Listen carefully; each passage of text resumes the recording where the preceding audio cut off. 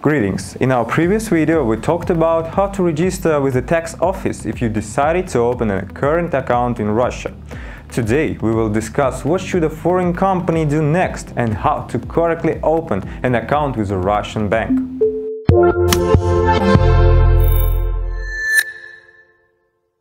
What is the package of documents for opening an account to a foreign legal entity? In order to open a bank account, you should submit the following documents. License or permits issued to a legal entity if this license and permit have a direct relationship with the legal capacity of a customer to conclude an agreement on the basis of which an account is opened. Signature sample card.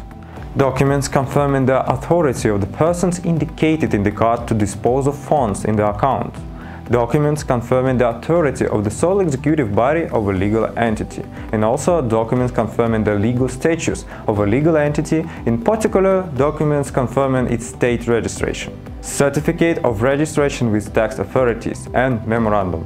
But always be ready, the bank has a right to request the additional documents which are not stated in this list. Pay attention! The documents drawn up in a foreign language must be accompanied by a notarized translation into Russian. Documents submitted when opening a bank account must be legalized. An apostille is put onto the document itself or onto a separate sheet attached to the document. A document of a foreign state legalized in the prescribed manner is subject to translation into Russian. Both the foreign document itself and the apostille put onto it shall be translated into Russian. A specimen signature card of an authorized persons shall be certified by a notary or a bank.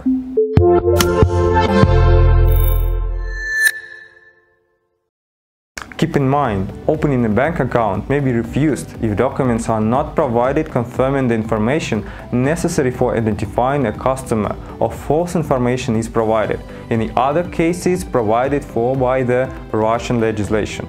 Opening of a bank account is completed and the bank account is considered to be open with the appropriate entry in the book for registration of open accounts. An entry must be made to this book not later than the business day following the day the relevant contract is concluded.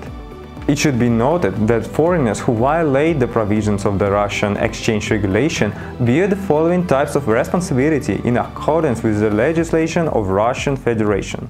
Administrative liability for illegal exchange transactions and criminal liability for refusing to repatriate funds. That is why it's so important to apply the professionals who will help you correctly open a current account with a Russian bank. Rosco, trust your business to the professionals.